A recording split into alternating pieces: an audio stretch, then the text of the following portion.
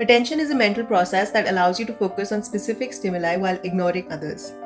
One influential theory in understanding how we manage attention is Anne Treisman's filter attenuation theory. This theory builds on earlier ideas and provides insights into why we sometimes notice information we're not actively focusing on. Hi guys, welcome to this channel. In this video, we explore Treisman's filter attenuation theory. If you like the content of this video, please like it and subscribe to this channel. And don't forget to press the bell icon so you're up to date on all our videos.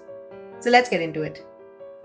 Treisman's filter attenuation theory suggests that instead of completely blocking out unattended information, our brain attenuates it. This means we reduce the strength of irrelevant information but don't entirely ignore it. For example, imagine you're in a busy cafe focusing on a conversation with your friend. The chatter and clinking of dishes are background noises. Treisman's theory suggests that while you're concentrating on your friend's voice, the noise is still being processed at a lower level.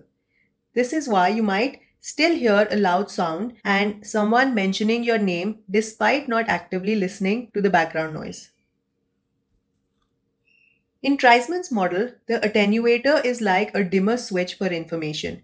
It reduces the intensity of information that isn't the focus of your attention. This allows important information to pass through more clearly even if it's not the primary focus. For example, if you're reading a book while the TV is on, you're focusing on the book. The attenuator dims the TV sound so you can still hear important parts of the show if they are loud or significant, but it doesn't drown out the sound entirely. The cocktail party effect is when you hear your name or a significant word in a noisy environment, even when you're not actively listening to those conversations.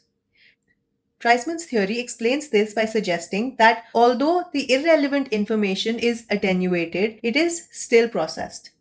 If the information is important or relevant, it can capture your attention.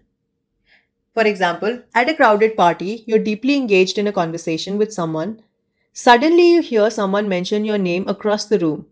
According to Treisman's theory, your brain's attenuator still processes the mention of your name at a lower level, making it noticeable enough for you to catch it.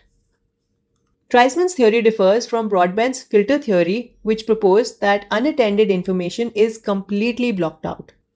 Treisman suggested that information isn't entirely filtered out, but rather reduced in strength. This means that unattended information can still influence us to some extent.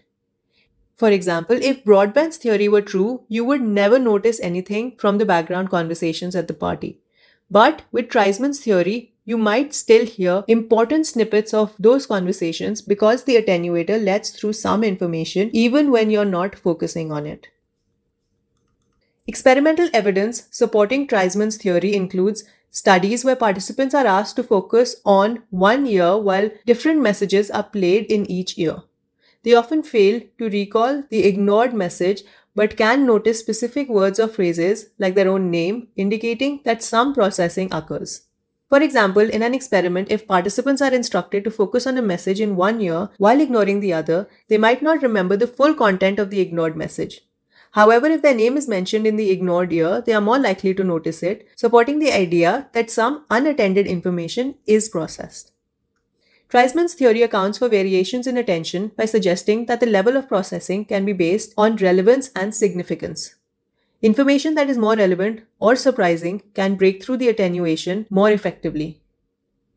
You might focus on writing a report, but if someone starts talking about a topic you're passionate about, the attenuator allows you to shift your attention because the topic is more relevant to you, even though it was initially in the background.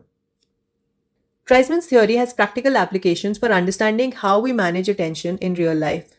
It helps explain why we can sometimes pick up on significant or surprising information even when we are not actively trying to listen for it.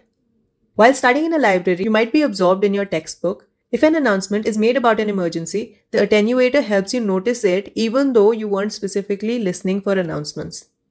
While Treisman's theory provides valuable insights, it has limitations. It doesn't fully explain how we manage highly complex or competing information streams and doesn't always clarify how we prioritize and integrate information from multiple sources. For example, if you're trying to follow multiple conversations in a noisy cafe, Treisman's theory might not fully address how we decide which conversation to prioritize and how to integrate information from various sources simultaneously.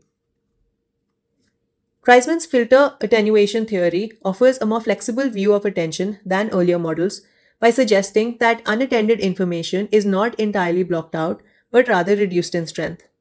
This theory helps explain why we can notice certain background information, like hearing our name in a crowded room. By understanding these concepts, we gain insights into how our attention operates and how we can better manage focus in various situations.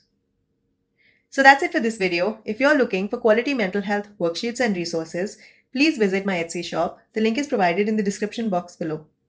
Once again, if you like the content of this video, please like it and subscribe to this channel. And don't forget to press the bell icon so you're notified when the next video comes out. As always, thanks for watching.